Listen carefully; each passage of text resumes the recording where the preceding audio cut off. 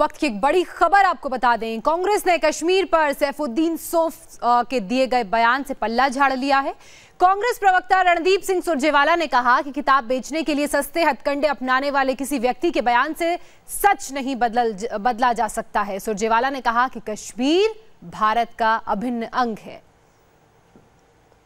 अगर सैफुद्दीन सोच साहब ने इस प्रकार का कोई बयान दिया है तो मैं केवल ये कहना चाहूँगा किताब बेचने के हथकंडे के दिए गए बयान से इस देश का शाश्वत सत्य बदलने वाला नहीं, हम इस प्रकार के सभी बयानों को अप्रासंगिक और मानकर कंप्लीटली रिजेक्ट करते हैं, सिरे से खारिज करते हैं। और ये भी कहना चाहूँगा जम्मू कश्मीर भारत का अभिनंग है, था और सदैव रहेगा।